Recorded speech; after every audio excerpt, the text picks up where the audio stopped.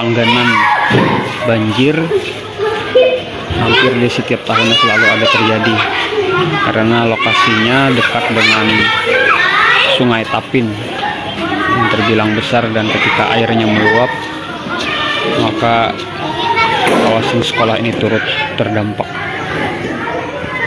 Selamat siang Tribuners, bersama saya Tria Wulandari. Inilah update berita terkini yang dilaporkan langsung reporter Tribun Network dari lapangan.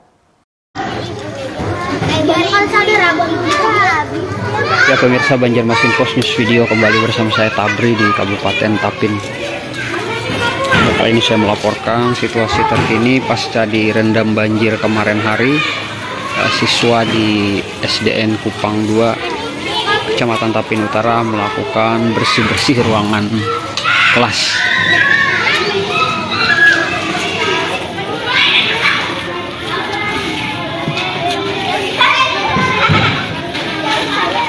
Yang mana kemarin hari eh, air menggenangi hingga ke ruang kelas sehingga aktivitas belajar mengajar diliburkan.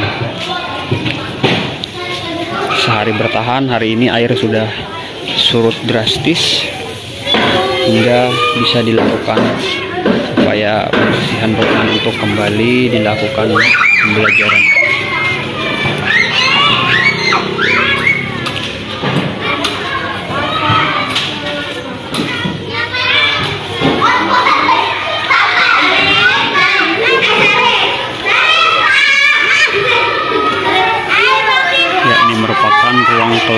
3 yang mana kemarin air turut menggenangi bagian ruang kelas yang ada ini.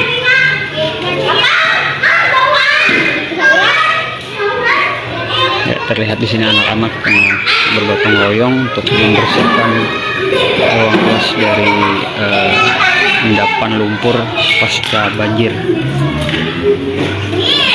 Ya infonya untuk SDN Kupang 2 ini memang langganan banjir. Hampir di setiap tahunnya selalu ada terjadi karena lokasinya dekat dengan sungai Tapin yang terbilang besar dan ketika airnya meluap maka kawasan sekolah ini turut terdampak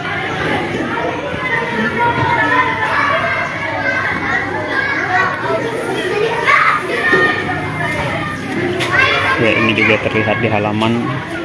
Endapan lumpur juga masih terlihat pasca di rendam banjir kemarin.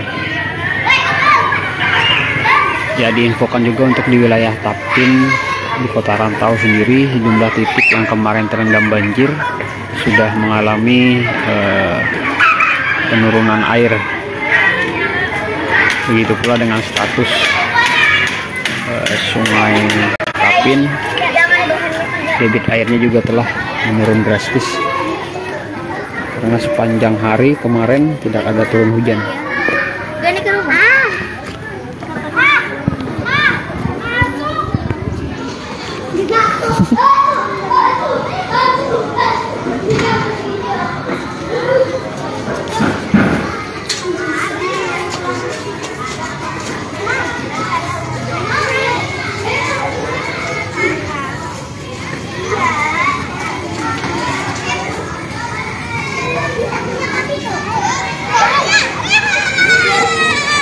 ya demikian mungkin sementara ini dapat saya laporkan dari Kabupaten Tapin.